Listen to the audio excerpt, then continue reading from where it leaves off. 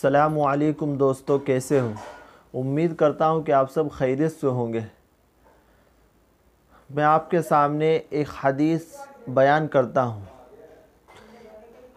हज़रत अबू सईद खुदरी रज़ी अल्लाह से रिवायत है कि नबी करीम सल्लल्लाहु अलैहि वसल्लम ने इरशाद फरमाया, बाक़ियात सलाहियत की कसरत किया करो।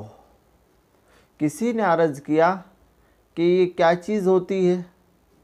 तो आपने इरशाद फरमाया, ये दीन की बुनियाद है। तो अर्ज़ किया गया, दीन की बुनियाद क्या है? तो अल्लाह के नबी सल्लल्लाहु अलैहि वसल्लम ने इरशाद फरमाया, तकबीर यानी अल्लाह अकबर कहना और अल्हम्दुलिल्लाह कहना और सुबहान अल्लाह कहना, और ला ला बिल्लाह। ये कहना। बाक़ियत सलाहियत से मुराद ये है कि नेक अमल जिनका सवाब हमेशा मिलता रहता है। हज़रत अबू सईद रज़ी अल्लाह तहु ने यह हदीस को नकल फरमाया। एक और हदीस है जिसके अंदर अल्लाह के नबी ने एक और इरशाद फरमाया कि अल्लाह ताला ने अपने कलाम में चार कली में चुने हैं। सबसे पहला है सुबहान अल्लाह और दूसरा है अल्हम्दुलिल्लाह और तीसरा है ला इलाहा इल्लल्लाह और चौथा है अल्लाह अकबर। जो शख्स एक मर्तबा सुबहान अल्लाह कहता है, अल्लाह ताला उसकी बीस नेकिया आमाल नामे में लिख देते हैं और बीस बुराइयाँ मिटा देते हैं। इसी तरह जो अल्हम्दुलिल्लाह कहता है, उसका भी यही अज़र है।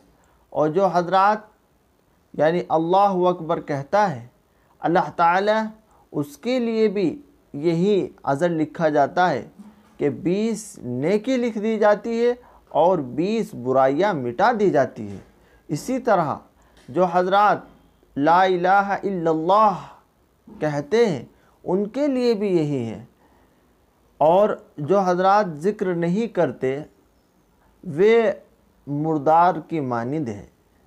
और जो हजरात ज़िक्र करते हैं, ज़िक्र के हल्कों में बैठते हैं या अकेले में, ख़ुद तनाही में अल्लाह अल्लाह करते हैं वे ऐसे है जैसे कि ज़िंदा है।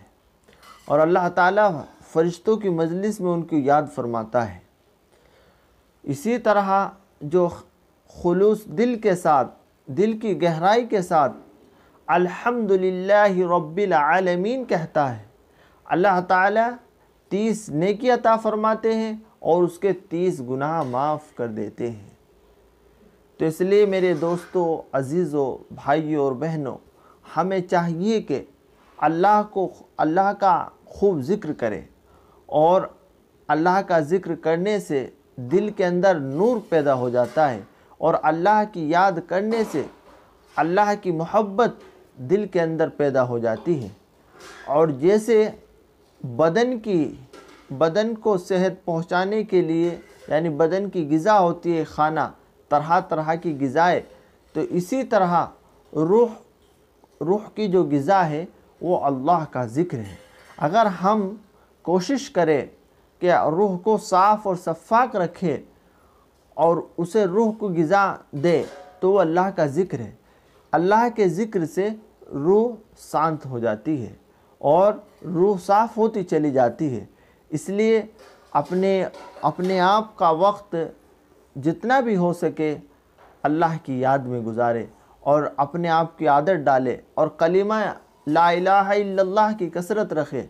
हज़रत मूसा अलैहिस्सलाम ने अल्लाह ताला से दरियाफ़्त किया कि अल्लाह तो कोई ऐसा अमल मुझे बता दीजिए जो आज तक आपने किसी को बताया ना हो। कोई अच्छा सा अमल मुझे बता दो। तो अल्लाह तबारक व ताली ने फरमाया, एक मूसा, पढ़िए, ला इलाहा इल्लल्लाह, इसकी कसरत कीजिए। क्योंकि सबसे वज़नी होगा। ऐसे ही एक हदीस में है कि अल्लाह के नबी सल्लल्लाहु अलैहि वसल्लम का फरमान है कि जो आमाल नामे में सबसे वजनी, आपको मैं एक चीज़ बताता हूँ, जो अमाल नामे में सबसे वजनी होगी, वो चीज़ कौन सी?